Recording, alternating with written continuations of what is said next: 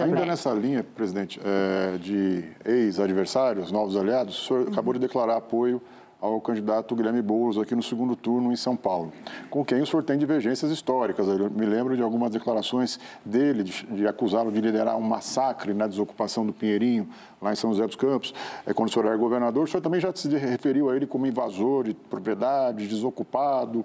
É, eu queria saber se essa opção do senhor é por lealdade ao presidente Lula, como o senhor disse, que tem seguido a, a risca e essa, essa fidelidade ao presidente da República, ou se o senhor considera de verdade que o Grêmio Boulos é a melhor alternativa para São Paulo, mesmo boa parte do seu grupo político que governou com o senhor aqui quase 20 anos no estado de São Paulo, apoiando o atual prefeito, que é do MDB, do Mandabrasa, do qual o senhor foi, fez parte. Olha, Fábio, primeiro, Santo Antônio de Pádua dizia: quando não puder falar bem, não diga nada.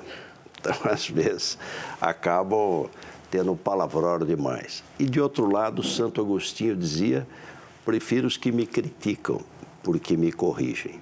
Então, são dois sábios. A hora de resiliência, de paciência e hora de indignação. Mas a política ela é dinâmica.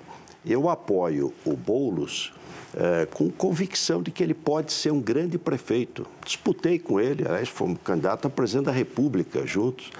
É, eu acho que ele não foi feliz quando é, me atacou na questão do Pinheirinho, porque eu estava cumprindo uma decisão judicial.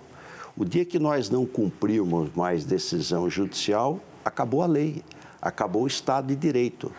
O senhor acha que ele mudou, então? Ele, hoje ele é uma pessoa, não é mais aquele invasor? Amadureceu. É um... A gente amadurece, amadurece, conhece melhor as pessoas. Eu tenho convicção de que hoje em São Paulo a mudança é melhor que a continuidade. Aliás, vou chamar a atenção até por uma questão fiscal. A Prefeitura teve há dois anos 3 bilhões de superávit primário. O ano passado teve um, aliás, o ano retrasado, 1,5 bilhão, caiu de 3 para 1,5. O ano passado teve 6 bilhões de déficit primário e esse ano vai ser pior. Então, até do ponto de vista fiscal. Eu acho que o, o, o Boulos quer o quê? Uma oportunidade para servir. Eu, como 70% da população, no primeiro turno, votei pela mudança.